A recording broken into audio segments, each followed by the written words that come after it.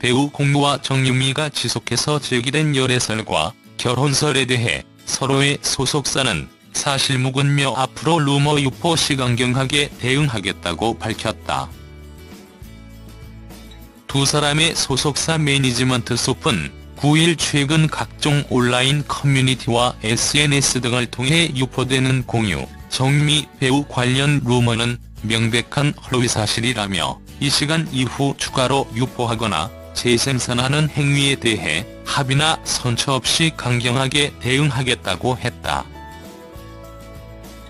소속사는 또 지속해서 있는 배우들을 향한 악성 댓글에 대한 수사도 함께 의뢰할 예정이라고 덧붙였다. 공유와 정유미는 2011년 영화 도가니에 이어 2016년 부산행에서 호흡을 맞춘 인연이 있으며 소속사도 같아 지속해서 열애설이 불거졌다.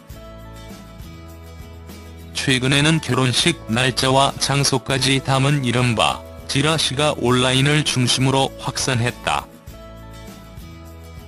공유는 지난 2016년 도깨비 종영 이후 차기작을 물색 중이다. 정민은 tvN 예능 프로그램 윤식당 첫 방송을 앞두고 있으며 2월 개봉하는 염력에 출연한다. 안녕하세요 매니지먼트 숲입니다.